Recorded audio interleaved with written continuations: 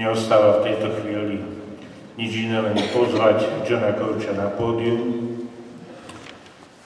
a čo vymyslíme, aby zareagoval. Jednoduché.